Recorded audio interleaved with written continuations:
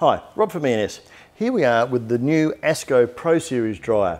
Now this particular product here is being released to coincide with the new washing machines that ASKO have launched, which are just stunning. And again, you'll see these beautiful aluminium lines running through, um, the new control knob, which is made of aluminium, the off button and all the other buttons here, which are also all constructed out of aluminium.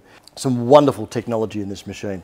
First of all, you're going to see um, these little uh, air pockets designed as circles, and that's designed to actually keep your clothing off the stainless steel drum and more floating in the air. And the second thing is you'll see this vane in the middle has part of it cut away to create the butterfly drying system.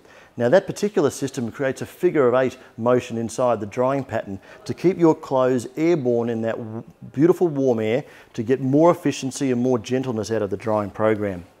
And of course, ASKO have the latest technology in their drying system.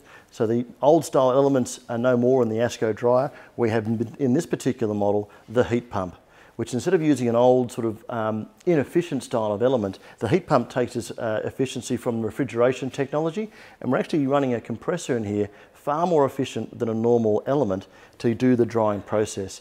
And it helps with not only the condensing, so that we're removing the moisture from the air nice and efficiently, but also it's helping with the heating process. So again, a super efficient dryer using heat pump technology. Now the capacity is large, eight kilograms, and uh, I think personally one of the best dryers we have going around and matching beautifully uh, with the new Pro series of washing machines. So certainly I'd be looking at the ASKO brand as the combination across the new Pro series of washer and dryer.